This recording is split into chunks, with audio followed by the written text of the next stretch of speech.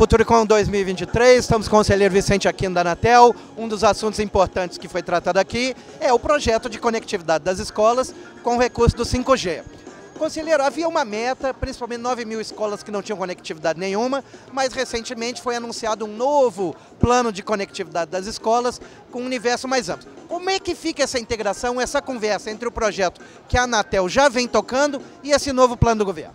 Muito simples. A Anatel é um órgão de Estado e cumpre política de governo. Então nós vimos numa direção, o governo agora edita uma estratégia nacional de conectividade nas escolas, tem uma diferença sobre o que a gente vinha colocando e nós vamos adaptar a política do governo à política que a gente vinha fazendo com o GAP. E com isso colocar a conectividade à luz da nova modelagem política.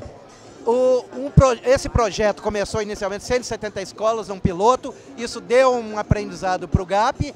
Como é que estamos agora no, no ritmo de implantação, conselheiro?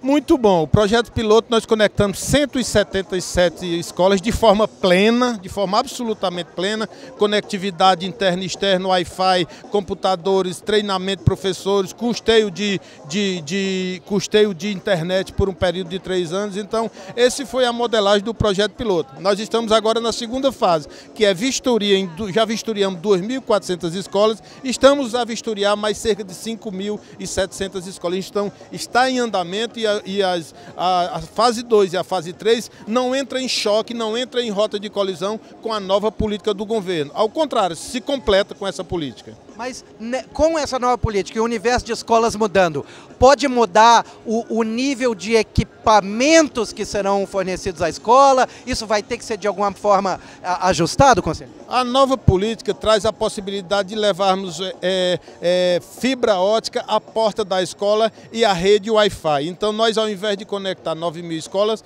há uma possibilidade que a gente possa chegar a cerca de 40 mil escolas. Então, o é, é, é, fibra até a porta da escola, preferencialmente, claro, e rede interna também na escola. Então, há sim um ajuste na nossa política com a política do governo.